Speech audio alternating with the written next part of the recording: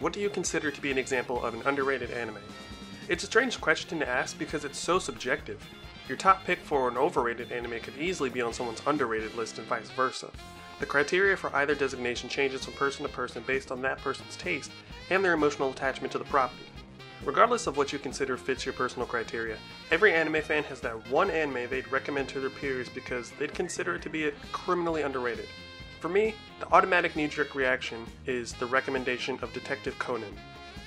Detective Conan, known to American audiences as Case Closed, was written and directed by Gosho Aoyama and follows the life of teen prodigy Jimmy Kudo. I'll be using the English dub names of the characters for simplicity's sake, so bear with me. Jimmy is an amateur detective that's made a name for himself by helping the police solve seemingly unsolvable cases. While investigating a criminal exchange between two parties, Jimmy is attacked from behind and administered a poison that is meant to kill him. Instead of dying, Jimmy transforms into a child and takes on the pseudonym of Conan Edogawa, with Conan being a direct reference to Sir Arthur Conan Doyle, who penned the Sherlock Holmes tales. In order to pursue the criminals that transformed him and hopefully secure an antidote, Conan takes up residence with his lifelong friend Rachel and her father Richard, who is also a detective.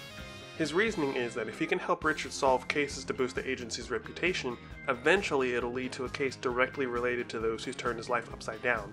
However, neither Rachel nor Richard are aware of who he truly is, as exposing them to the truth invites danger to their doorstep. To achieve his goals without anyone suspecting his true identity, Conan is given several neat tools that allow him to solve cases as they arise.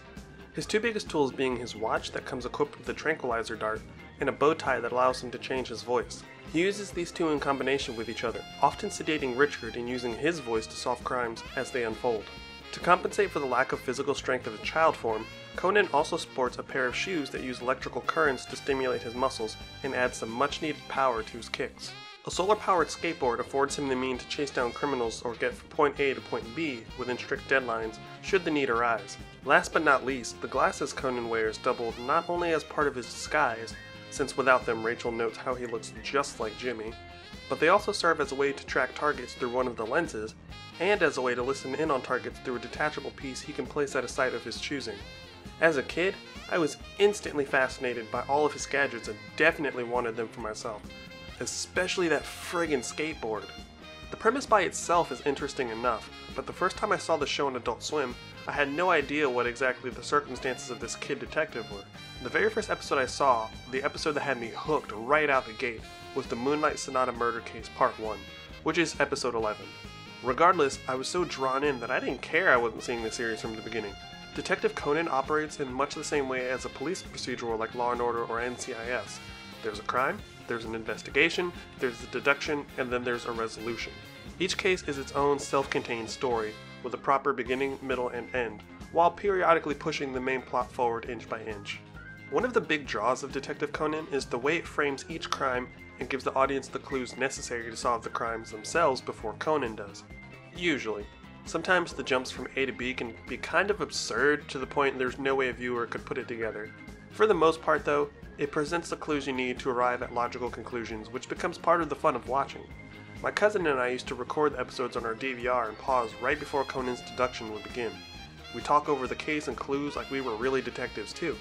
Then we'd unpause the show and see if we were right. We were often wrong more times than right, but it was fun either way. Detective Conan keeps its core cast very small while allowing supporting characters to have their moments as well. The core cast, in my opinion, consists of Jimmy slash Conan, Rachel, who doubles as both Jimmy's love interest and the emotional core of his driving force, Richard, a bumbling idiot who can't seem to solve a single case without Conan's influence, and Inspector Meguire. I know some people don't consider Meguire a core member of the cast, but he's Conan's direct line to the police, so I count him. The supporting characters typically consist of the Junior Detective League, Amy, Mitch, and George, classmates of Conan's who you'll either find adorably charming or easily the worst part of any episode they're in. I understand their inclusion given the manga's demographic was children, but that doesn't make them any less annoying. I extend the umbrella of supporting roles to the one off characters tied to each individual case as well. While there are some cases in which none of the characters really stand out, there are others in which I honestly feel for the men and women involved. It really just depends on the crime and the motivations written around it. Slowly but surely, each character reveals their personal sense of morality through their actions, and tiny bits of dialogue here and there. There are no shortage of criminals for Jimmy to stand as a stark contrast to, but in that same vein, through his interactions with the people he intends to outwit, he is sometimes faced with the moral gray areas that force otherwise innocent people to commit heinous acts of violence. On the flip side, in his social life, Jimmy has to navigate the maze of lies he weaves with good intentions in order to keep Rachel in the dark. Yet, he has to witness firsthand how his perceived absence affects the woman he loves. It's a nuanced game of mental tug of war for Jimmy that is always interesting to watch. Another big draw to the anime that sets it apart from plenty of its peers is the musical pieces composed by Katsuo Ono. All of the music in the series has a jazzy feel to it, amplifying the noir like nature of the series as a whole. The distinct saxophone and deep bass lines in just about every tune carries the tone of whatever scene it's used for, influencing your emotional response whether you know it or not. You quickly come to recognize which songs are meant for moments of triumph, which are meant for moments of suspicion and distrust, which are meant for feelings of sorrow or guilt, and so on. Unlike a lot of anime, these songs are drilled into you nearly every episode without ever feeling stale or overused. The OST for Detective Conan is easily one of my favorites of any anime I've ever seen. There was even a point in which the Japanese army band covered the main theme, which was both surprising and incredibly cool to see.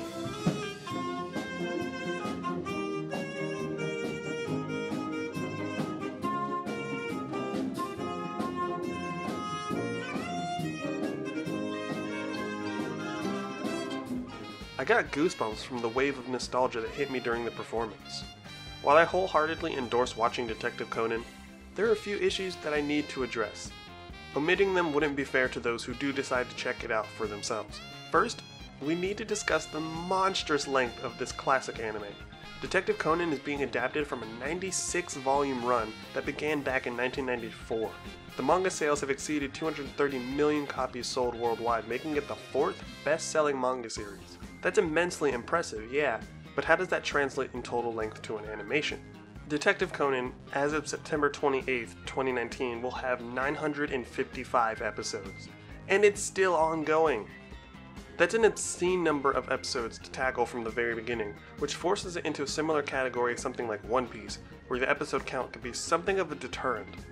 The time commitment required to watch something like Detective Conan is insane, but the show also suffers from another issue that One Piece doesn't.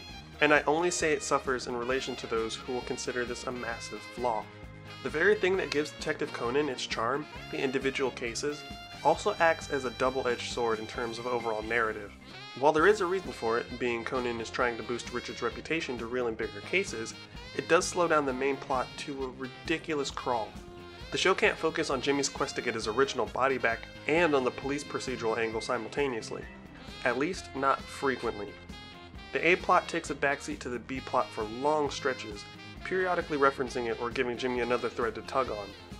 For a lot of viewers, this will be a massive turnoff. Detective Conan follows the same kind of formula as a show like House, where the intrigue lies squarely in whatever disease House is trying to figure out that week, while the main narrative slowly unfolds in the background. This, however, allows anyone to fall into the series at nearly any point and enjoy themselves with standalone cases but I can see how this kind of storytelling would turn away newcomers given that we live in an age where people want to see constant plot and character development. Slow burns are still appreciated, but I can understand how some people may come to the conclusion that Detective Conan burns a little too slow. The last issue that I think would come up really depends on which language you prefer to watch your anime. I go back and forth depending on the title. For me, there are some anime that I just like more in English, such as Full Metal Alchemist, Yu Yu Hakusho, Cowboy Bebop, and of course Detective Conan. So naturally, when I decided to jump back into the series recently, I wanted to start from the beginning and watch it in order. But when I reached episode 131 of the English dub, something weird happened. The entire voice cast changed, which was so jarring that I skipped ahead only to find things hadn't gone back to normal. Turns out that after episode 130, Funimation stopped dubbing the show due to poor ratings and sales in North America. Detective Conan didn't exactly have a primetime slot, and it was likely incredibly difficult to sell a company like Cartoon Network on the idea of a murder mystery show given the average age of the network's audience. So, seeing the property as dead in the water, all official efforts to dub the show were completely abandoned with no desire to breathe new life into it. A group known as the Detective Conan Translation Project took it upon themselves to fan dub the show to the best of their ability moving forward, and they got quite a bit done too. Not enough to make a huge difference, nor was it of the best quality, but god bless them they tried. The worst part about Funimation canceling the dub was that they were only six episodes out from a massive plot heavy two hour special that shifts the status quo just enough to add another organic layer of intrigue. Hell, they even dubbed some of the movies which take place after this massive plot twist. If you watch the dub up to this point, you don't really have a choice but to switch to the English sub, which will strangely move you backward from episode 131 to episode 124, because Japan was sometimes release episodes as 45 minute specials, whereas American syndication was ironclad in time slots, which forced some episodes to be chopped in half. Detective Conan is something of an anomaly in the anime industry. It's been running so long that it's simultaneously considered a classic and a staple of the anime world, even if it doesn't get the same recognition as its peers. Detective Conan spawned 23 films, one of which released as recently as April 2019. The feature films consistently perform well in the Japanese box office time and again. Hell, when Infinity War hit Japan, it actually sold 16,000 fewer tickets than Conan's 22nd film, which was in its third weekend at the box office.